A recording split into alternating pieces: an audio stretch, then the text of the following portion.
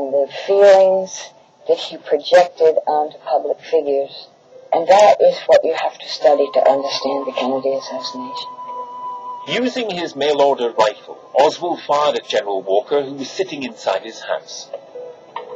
The bullet was deflected by the window frame. The world didn't know any of this until after Oswald died. This was entirely on his own. There wasn't anybody that he worked with. Nobody knew about it except Marina, and she was keeping very quiet. Marina told me that she was in fear all the time of what he might do. After the Kennedy assassination, Marina spent weeks being interviewed by FBI agent Wally Heitman.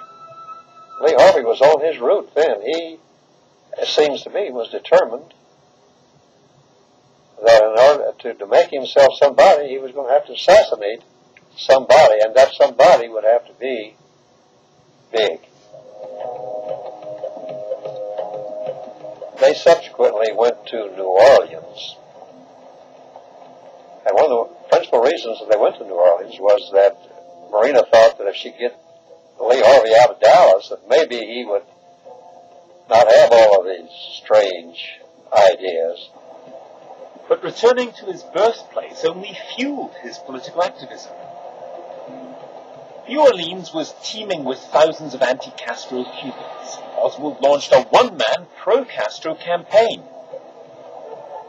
He became the New Orleans chapter of the National Fair Play for Cuba Committee. He stood out enough that local television filmed him handing out leaflets.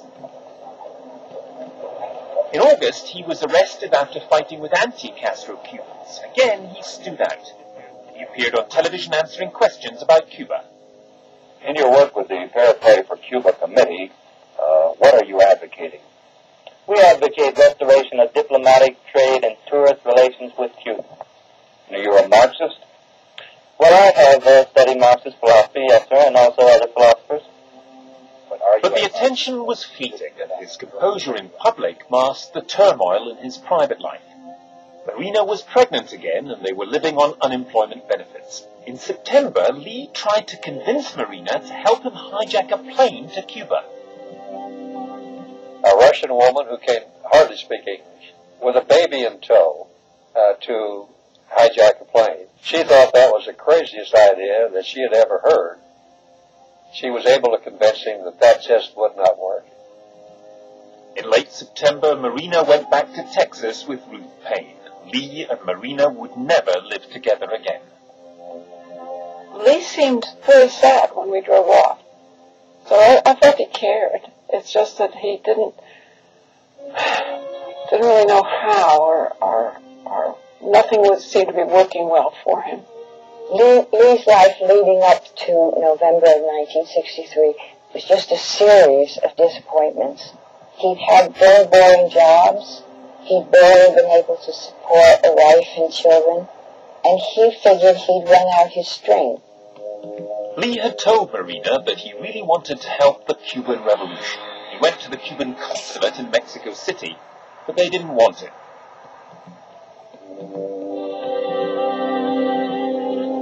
He went to the Soviet embassy and asked to return to Russia. They turned him down as well. He thought he himself was interesting enough um, and important enough that they would give him visas to go to their country. And he was rebuffed. In a way, just cut off his last exit, in a way. And when he left Mexico City to go back to Dallas, he, he went in a spirit of defeat and desperation. Oswald arrived back in Dallas, where Marina was living, on October the 3rd. He had no job and no prospects. He rented a room for $8 a week and looked for work. It was Ruth Paine who arranged for him to get a job at the Texas School Book Depository. He started work on the 16th of October. On November the 19th, the route of the Kennedy motorcade was published in the Dallas newspapers. The route went right past the building where Oswald had a job. On November the 21st, the night before the assassination, Lee visited Marina at Ruth Paine's house. It was the only time he'd ever arrived unannounced. One of the things he did when he left that Friday morning was put most of the money that he had on the dresser for Marina with a little note, get some shoes for Junie. And then he took off his ring and put it in a cup. And I have wondered, I think he, I think he was pretty depressed and discouraged about how things weren't going well for him. He wasn't changing the world or whatever it was he thought he was supposed to be doing. He had problems at home. He had problems on his job. He was completely frustrated about what was going on around him. This is not excusing what he did. This is understanding what he did. He wanted to be somebody. And this opportunity came about. Coincidental. Nothing planned. Nothing organized. It happened that way. It's one of those happenstances of history. Oswald went to work at the book depository on the morning of the 22nd carrying a long object wrapped in brown paper. He told another worker it was curtain rods.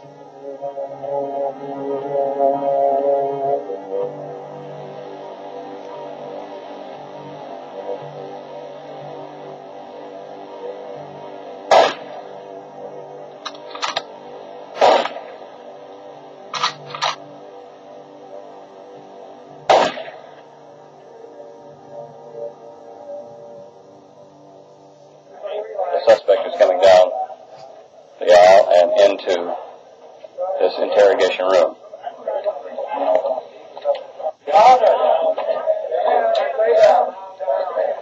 Well, I was uh, questioned by a judge, however, I uh, protested at that time that I was not allowed. On November the 23rd, Lee Harvey Oswald was finally somebody. Did you kill the president? No, I have not been charged with that. In fact, nobody has said that to me yet. Uh, the first thing I heard about was when the newspaper reporters in the hall uh, asked me that question. When I saw him there, he looked like the cat that swallowed the canary. But he was he was proud of what he had done. Throughout that weekend, Oswald was questioned by the police, the FBI, and the Secret Service. He wasn't admitting anything. His brother Robert went to see him in custody.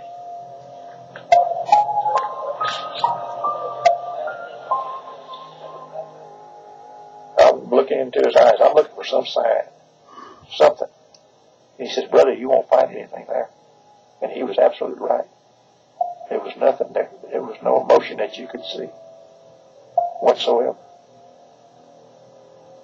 Even without a confession, the district attorney Henry Wade said he'd a strong case. I figure we have sufficient evidence to convict. Was this, uh, is there any indication that this was an organized plot, or was it just one man? We, there's no one else but him. That would never be tested in court. Now, this is the armored truck that will carry Lee Oswald from the basement here of Dallas Police Headquarters downtown to the Dallas County Jail.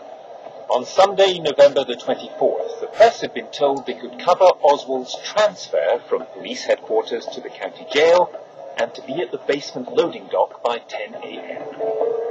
Cap instructed me to handcuff Oswald's uh, right arm to my left arm. While I was doing all this, I said to him in jest more than anything else, I said, Lee, if anybody shoots at you, I hope they're as good a shot as you are. Meaning, of course, it hit him and not me. He kind of laughed and he said, oh, you're being melodramatic or something to that effect, so nobody's going to shoot at me. There is Lee Oswald. He's been shot. He's been shot. Lee Oswald has been shot. I pulled on uh, Roberto and trying to pull him behind me, but I was too close to him to move him. So I turned his body so that the bullet, instead of it hitting him dead center, it hit him about four inches to the left of the navel. It was like a cartoon almost, where you see a foot there and a hand there and, and a gun there and a head there, and, and it was a little scary, but but very fast. He was down, and I didn't know who it was. I didn't know for probably five minutes who it was. And then when I found out, I thought, my God, I know that man. And I'm not really that surprised.